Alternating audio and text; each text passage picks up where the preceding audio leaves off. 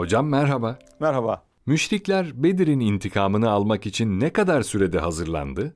Müşrikler Bedir'in intikamını hemen Bedir'den sonra almak için hazırlıklara başlamışlardı. Bu arada e, Irak'a 100 bin dirhem değerinde gümüş eşya taşıyan zengin bir kervan e, yine Müslümanlar tarafından ele geçirilince e, artık dediler ki bu işi bitirmenin zamanı geldi ve Efendimiz sallallahu aleyhi ve selleme karşı bir ordu hazırladılar. Bu orduyu Efendimiz haber aldı. Abbas'tan bir mektup geldi. Mektupta e, Medine'ye doğru yola çıkan 3000 kişilik ordudan bahsediliyor ve orduda 700 zırhlıyla 200 atlının olduğu söyleniyordu. Bu aslında Bedir'in intikamını almak üzere Mekke'nin artık Resulullah Efendimiz'in üzerine yürüdüğünü gösteren bir haberdi. Peki Müslümanlar bunun üzerine ne yaptı? Resulullah Efendimiz'in ilk düşüncesi Medine dışına çıkmayıp düşmanın Medine sınırlarında karşılamaktı. İçten bir savunma mekanizması kurmayı düşünüyordu Resulullah Efendimiz. Bununla birlikte e, kendi görüşüne diğerlerinin katılıp katılmayacağını anlamak için bir istişare efendim heyeti oluşturdu ve e, ilk konuşan da e, ileride göreceğiz münafıklar diye daha önce bahsetmiş olduğumuz münafıkların lideri Abdullah İbni Übey oldu. Bizim şehrimiz bize karşı bir zaman saldırıya meydan bırakmayan bakire bir şehirdir. Biz bu şehirden büyük kayıplar olmaksızın hiçbir düşmana saldırı için çıkmadık. Bu şehre saldıranlar ise hep büyük kayıplarla karşılaştılar. O halde ne yaparlarsa yapsınlar orada kaldıkça, buraya üzerimize geldikçe felaket onların olacaktır. E, diyerek Resulullah Efendimizin aslında düşüncesine uygun bir rey ihsas etti. Görüşünü bu şekilde e, beyan etti. Ensar ve muhacirin yaşlıları da aynı şekilde bu İbni Übey'in görüşüne katıldılar. Bunun üzerine Efendimiz sallallahu aleyhi ve sellem Medine'de kalın, kadın ve çocukları kalelere koyun diye e, emrettiler. Fakat o böyle konuşunca gençlerden bir kısmı e, hatta çoğunluğu şehrin dışına yürüme taraftarı olduklarını aslında ifade ettiler. Birisi çıktı ey Allah'ın Resulü biz düşmanla karşılaşmak istiyoruz. Onun yanına götür bizi. Onların bizim korktuğumuzu ve zayıf olduğumuzu düşünmelerine izin verme e, dediler. Bu sözler meclisin her tarafından takdir dolu mırıltılarla desteklenince çoğu aynı şeyi tekrarlayınca e, konuşulanlardan ve bu reyin desteklenmesinden e, dolayı Medine dışına çıkılmasına yönelik bir kanaat oluştu. Resulullah Efendimiz de şehir dışına çıkıp düşmana saldırmaya karar verdiler. Öğle vakti cuma namazı için toplandılar. Okunan hutbenin konusu da cihat ve onun gerektirdiği çabayla ilgiliydi. E, daha sonra Efendimiz arkadaşlarına savaş için hazırlanma emri verdi. Kendisi de gitti, zırhını giydi. Fakat daha sonra e, gençlerden özellikle bir kısmı pişman oldular söylediklerine. Çünkü Efendimizin görüşü aksi istikametteydi. Efendimiz'e gelip dediler ki ya Resulallah sizin reyinize uygun e, bir hareket tayin edelim ve Medine'de kalın dediler ama Efendimiz buyurdular ki bir peygambere zırhını giydikten sonra çıkarması yanaşma, yaraşmaz ve savaşa karar vermiş oldu.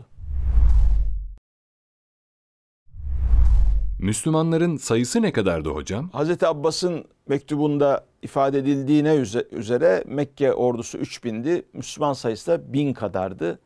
E, fakat savaş alanına gelindiğinde Uhud'a e, doğru gelindiğinde e, münafıkların reisi İbni Übey 300 taraftarı ile beraber e, savaş meydanını terk etti. Dolayısıyla Müslümanlar e, 700 kişi kadar kaldılar. E, Uhud eteklerinde Efendimiz okçuların arasından 50 kişiyi seçti ve e, esas gücün sol tarafındaki bir tepeye yerleştirdi. Onların başına da Abdullah İbni Cübeyr'i lider olarak seçti. Ve onlara dedi ki e, oklarınızla bizi onların atlarından koruyun. Onların arkamızdan dolaşıp bize saldırmasına izin vermeyin. Savaş bizim lehimize de gitse, aleyhimize de gitse. Hatta akbabaların bizim cesetlerimizi böyle yediğini bile görseniz yerinizden ayrılmayın. Ee, eğer düşmanı yendiğimizi görürseniz bunda bizim de payımız olsun demeyin. Eğer öldürdüğümüzü görürseniz yardıma gelmeyin diye çok net bir emir verdi. Yani bugün Okçular Tepesi diye bilinen yer. Evet. Okçular Tepesi hatta işte orayı terk etmeyelim diye de genellikle böyle bir e, bazen e, bir takım edebi sözlere de konu olur. Müslümanlar ilk hücumla bu efendim organizasyondan sonra düşmanı darmadağın ettiler ve düşman saflarının tümünün kırıldığı noktaya kadar ilerlediler. Düşman kampına giden yol açılmıştı ki orada içlerinde Hint de vardı. Hint ki Ebu Süfyan'ın karısı, ordu kum- kumandanı Ebu Süfyan'ın karısıydı ve Hazreti Hamza'nın ciğerini yemeye and içmişti ve bunun için de Vahşi adlı bir köleyi tutmuş ve onun özellikle başka bir şeyle uğraşmayıp Hazreti Hamza'ya özellikle yönelmesini e, istemişti. Nitekim bu köle efendim Hazreti Hamza'yı şehit etti. Fakat buna rağmen düşman geriliyordu. E, ama o sırada e, işte biraz da o ganimet hevesiyle e, Okçular Tepesi'ndeki o 50 okçunun takriben işte 30 kadarı yerini terk etti. Bunu takip eden Halit İbni Velid e, atlılarıyla efendim arkadan aynen Efendimizin tarif ettiği gibi arkadan dolaştı. Bu şekilde arkadan saldırarak Halid bin Velid savaşın gidişatını Mekke lehine çevirmiş oldu. Müslümanlar savaşı kazanmışken kaybetmiş mi oldu? Savaşın Müslümanlar lehine giden gidişatı bir anda tam tersine dönmüştü ve bir Müslümanlar arası bir panik başladı ve çünkü müminlere arkadan saldırıyordu e, atlılar E, ve Kureyşlerin işte ey Hubel ey Huzza şeklindeki sesleri alanı doldurdu. Müslümanlar e, Uhud dağına doğru geri çekilmeye başladılar. E, Efendimizin sallallahu aleyhi ve sellem sesine karşı sağır zihinleri de böyle bir an önce oradan ayrılmaktan başka bir düşünce içerisinde olmayan bir efendim e, panik halindeydiler. İlk baştaki cesaretleri kırılmıştı. Sayıca düşmandan çok az kalmışlardı. Adım adım Uhud'a Efendimiz sallallahu aleyhi ve sellemin bulunduğu yere doğru geri çekilmek zorunda kaldılar. E, Ali radıyallahu an, Zübeyir radıyallahu an, Talha ve Ebu Dürcane radıyallahu an ön saflardan ordu ile birlikte geri çekilmişlerdi. Onlar Peygamber Efendimiz'i yanına ulaşmadan önce e, düşman tarafından atılan bir taş Resulullah Efendimizin alt dudağını yardı. E, o sırada da İbni Kamiya isimli bir e, Mekkeli süvari Resulullah Efendimiz'e hınçla saldırdı ve efendim e, hem bu arada alt dudağı yırtılmış, dişlerinden biri kırılmış olan sallallahu aleyhi ve sellem Efendimiz'e bütün gücüyle o kılıç darbesini salladı. Fakat Talha radıyallahu anh hemen Efendimizin yanındaydı. Kılıcı görür görmez kendini Efendimizin önüne attı. Hayatı boyunca artık kullanamayacağı bir elinin parmaklarını o sırada kaybetti. Ee, başka bir yer almaksın darbeden kurtulmuştu. Tabi darbe Efendimizin miğferine çarpıp iki demir parçasının Peygamber Efendimizin yüzüne saplanmasına neden oldu. Omuzundan geçerken de iki kat zırhını parçaladı. Başının yan tarafına gelen bu darbeyle Efendimizin yere düştüğünü gören kafir atını mahmuzlayıp geldiği hızla geri gitti ve şöyle bağırdı. Muhammed öldürüldü. Şimdi bu hakikaten böyle bir söz duyulduğu andan itibaren Müslümanların moralini çok bozdu.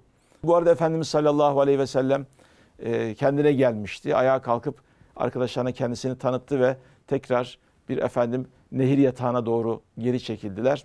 Dolayısıyla e, orada Efendimiz sallallahu aleyhi ve sellem e, düşman çekildikten sonra her şehidi tek tek gömdü ve oradaki efendim mezarların başında bulundu. Uhud mağlubiyeti sonrasında ne oldu? Aslında bu tam mağlubiyet sayılmaz çünkü Efendimiz sabah namazından sonra Bilal radıyallahu anh'a oradakilere ve uzaktakilere düşmanın arkasından gidileceğini duyurmasını söyledi. Fakat sadece dün bizimle birlikte savaşanlar gelecek dedi. Birçoğu belki darbe almış, yaralanmış sahabe efendilerimiz hiçbir efendim böyle e, şikayet göstermeden yine düşmanın peşine düştüler ve bayağı bir 20 kilometre kadar düşmanı takip ettiler. Efendimiz orada bir kamp kurulmasını emretti ve orada ateş yaktırdı. O ateşi gören zaten Mekke ordusu da tekrar gelmeye cesaret edemedi ve tekrar Mekke'ye dönmüş oldu. Uhud Savaşı gerçekten bu anlamda e, Bedir'den sonra Müslümanlar için yepyeni anlamı olan bir safahattır ve orada Resulullah Efendimiz e, en sevgili amcasını kaybetmiştir. Mus'ab bin Umeyr gibi yine Medine'ye İslam'ı öğreten bir aziz sahabi burada şehit olmuştur. 70 kadar sahabe efendimiz burada e, şehit düşmüştür. Bu bölümde İslam tarihinde acı hatıralarla daha çok öne çıkmış olan Uhud Savaşı'ndan bahsettik. Önümüzdeki bölümde Medine'de günlük hayat nasıl cereyan ediyordu, nasıl devam ediyordu? Bununla ilgili e, konuşmaya çalışacağız. O zamana kadar Allah'a emanet olunuz efendim.